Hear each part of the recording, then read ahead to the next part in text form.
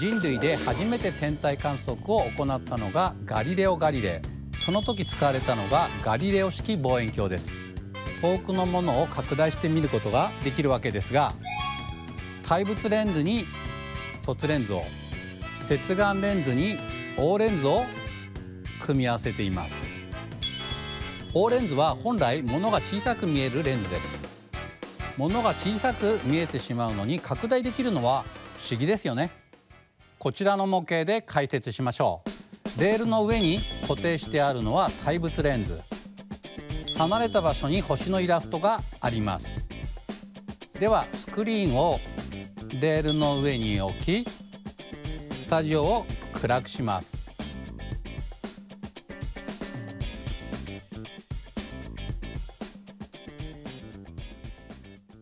スクリーンにピントのあった像が映りました。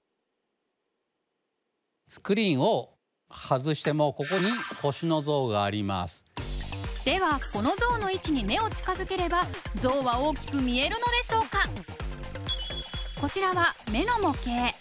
水晶体にあたる凸レンズと網膜にあたるスクリーンです。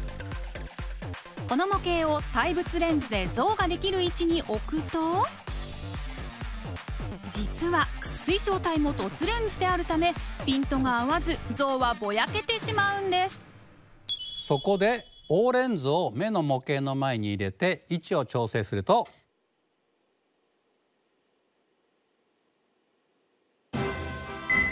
星が映った。しかも直接イラストを見た場合に比べ大きな像になっていますどうして見えるようになったのか光の進み方をレーザー光で見てみましょう。光が対物レンズを通るとこのような光になります。ここに O レンズを入れます。O レンズを通すことで光の角度が変わります。O レンズを取った光が平行になる位置にしておきここに目の模型を入れます。するとレーザーの光は網膜に点となって映りピントが合っているのが分かります。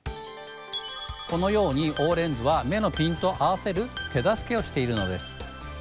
これがガリレオ式望遠鏡の原理なんです。明日のあなたがエネルギーで幸せになりますように合言葉はハッピーエネ。